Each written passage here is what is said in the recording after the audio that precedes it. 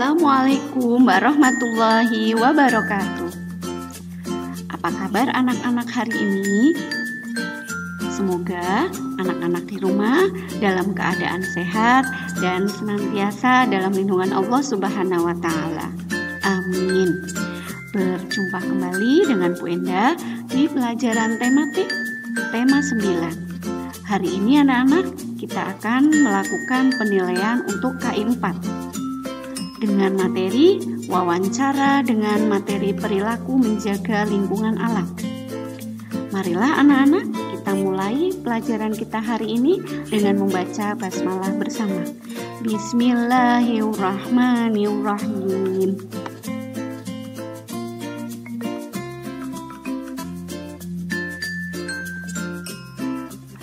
Tujuan pembelajaran kita hari ini adalah dengan wawancara peserta didik mengetahui perilaku-perilaku orang di sekitarnya yang menunjukkan perilaku terpuji maupun tidak terpuji dalam menjaga lingkungan alam dalam kehidupan sehari-hari dengan tepat. Anak-anak, di pembelajaran kita yang kemarin, anak-anak sudah belajar tentang wawancara. Anak-anak sudah juga melakukan wawancara, ya. Kita ingat, wawancara adalah kegiatan tanya jawab antara pewawancara dengan narasumber untuk dimintai keterangan atau pendapatnya mengenai suatu hal. Nah, di pelajaran sebelumnya Nana juga uh, sudah belajar tentang peran lingkungan bagi manusia. Lingkungan amat penting bagi kehidupan manusia karena manusia tergantung kepada lingkungan. Manusia membutuhkan lingkungan untuk mencukupi kebutuhan hidupnya. Oleh karena itu, manusia harus senantiasa berbuat baik kepada lingkungannya. Manusia harus dapat berpikir dan berperilaku secara tepat, bijak, dan bertanggung jawab. Kemarin anak-anak sudah belajar tentang contoh perilaku manusia dalam menjaga lingkungan. Seperti contohnya adalah membuang sampah pada tempatnya. Tidak mengotori sungai atau tidak membuang sampah di sungai. Melakukan reboisasi atau penanaman hutan kembali yang gundul.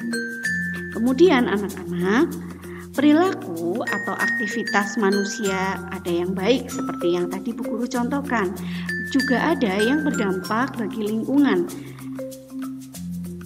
Ada pula yang sering memicu terjadinya bencana alam, seperti terjadinya banjir, kebakaran hutan, atau krisis air bersih. Perilaku ini anak-anak termasuk perilaku yang tidak terpuji, seperti membuang sampah di sungai, kemudian melakukan penggundulan hutan, ya kemudian menebang pohon secara liar. Itu adalah contoh-contoh perilakunya. Kemudian anak-anak untuk lebih mendalami lagi apa saja perilaku-perilaku yang menunjukkan tindakan menjaga kelestarian alam? Apa saja perilaku-perilaku yang menunjukkan tindakan manusia merusak kelestarian lingkungan?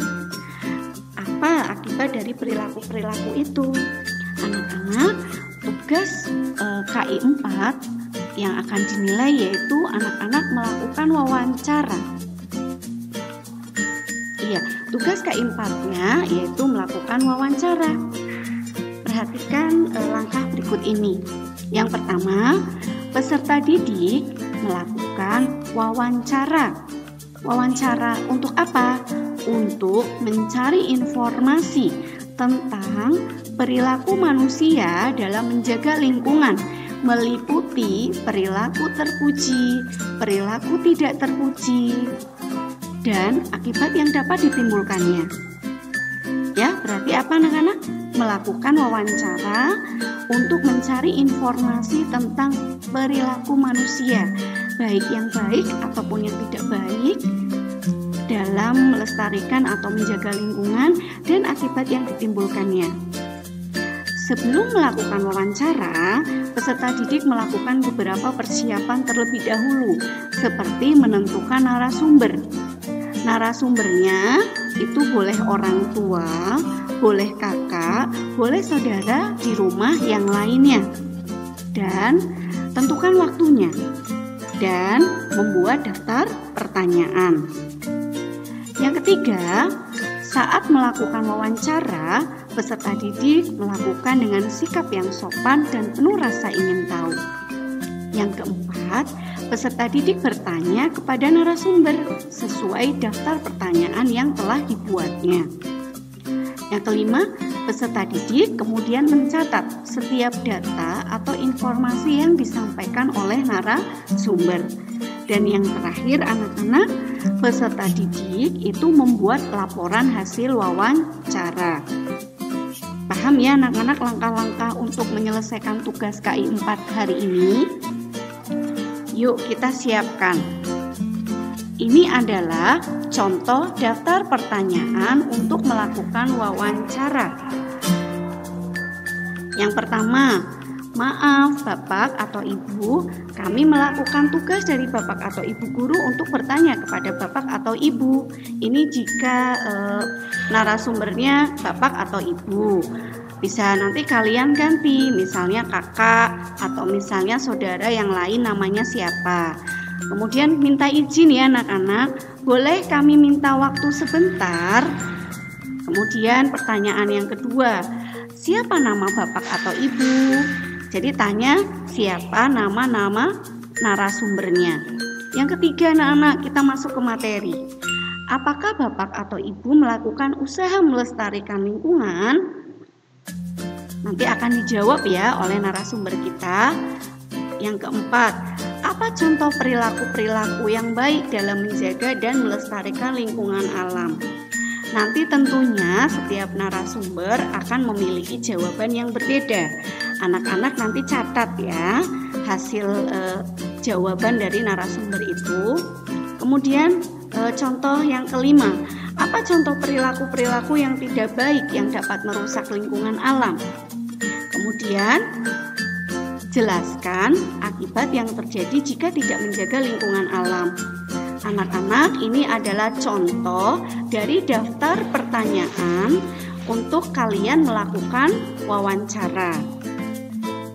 Kemudian, langkah yang terakhir ketika kita sudah melakukan wawancara adalah menuliskan laporan hasil wawancara.